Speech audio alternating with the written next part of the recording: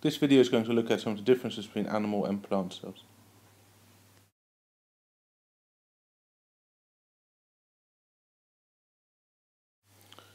Animal cells have a um, membrane, they don't have a fixed shape necessarily.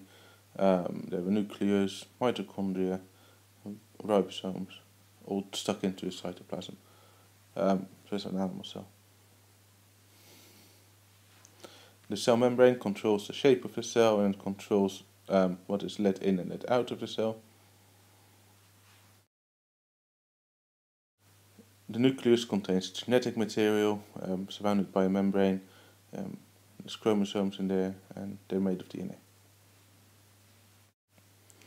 Mitochondria are in all eukaryotic cells, including animal cells, and they're where energy is being released through the breakdown of glucose.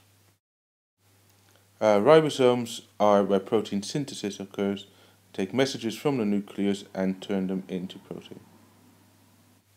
The cytoplasm is where all the chemical reactions happen, and plants have cytoplasms as well. Plants also have um, nuclei and mitochondria and cell membrane, but they have some other free cellular components that we'll look at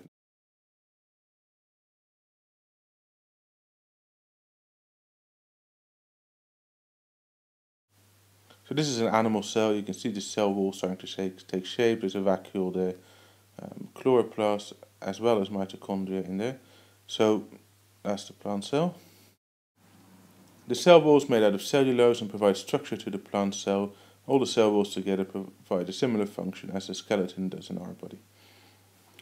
Chloroplasts contain chlorophyll which can absorb light which the plant uses in photosynthesis which happens inside the chloroplast um, and makes glucose from carbon dioxide and water. The vacuole is a storage um, organelle which contains cell sap.